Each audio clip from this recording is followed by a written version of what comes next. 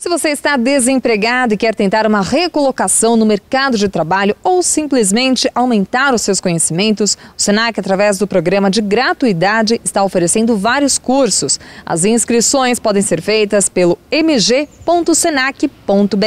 Nós temos 11 cursos para início agora no primeiro semestre.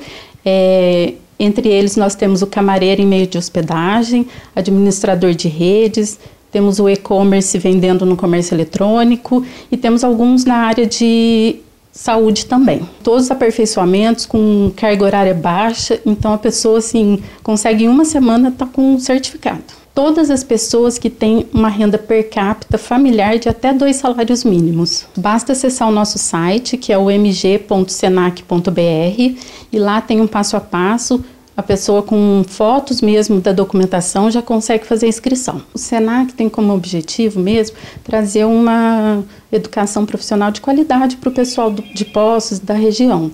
É, na verdade, é, tem pessoas que já perderam o emprego, tem pessoas que estão parados, então essas pessoas conseguem se profissionalizar e voltar para o mercado, né? As aulas podem ser, como são todas online, podem ser assistidas até mesmo do celular, a pessoa consegue assistir, então, assim, em casa é a melhor coisa, né? Cada curso que nós abrimos são com 40 vagas.